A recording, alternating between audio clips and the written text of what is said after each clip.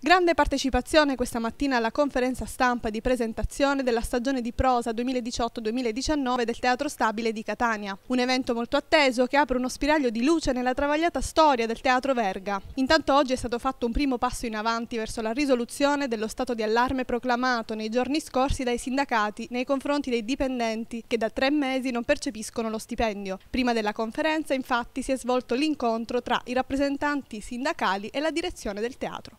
Per noi è importantissimo questa conferenza stampa, l'annuncio della stagione perché parliamo di teatro, di teatro da fare in un momento in cui il, il nostro ente si appresta a uscire da una situazione di estrema difficoltà come è noto.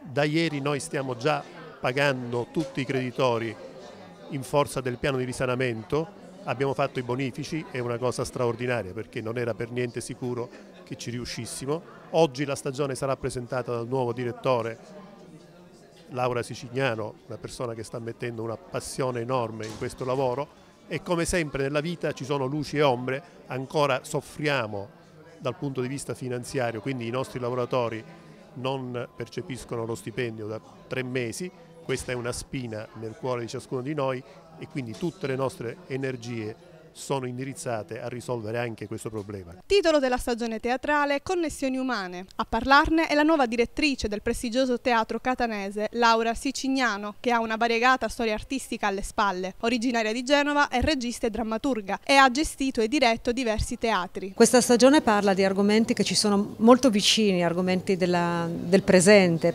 parla alle persone, delle loro storie. Lo fa attraverso nuova drammaturgia, lo fa attraverso i grandi classici. La stagione è popolata da un carosello di attori straordinari eh, di tutta Italia, di livello altissimo, ma al tempo stesso le nostre produzioni catanesi andranno in Italia in una bellissima tournée a portare l'immagine della città come un'immagine vincente e positiva.